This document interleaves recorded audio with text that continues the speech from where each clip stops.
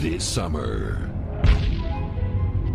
monsters you've never seen before will be brought to life, more powerful than ever. And the battle for the fate of the future will be here.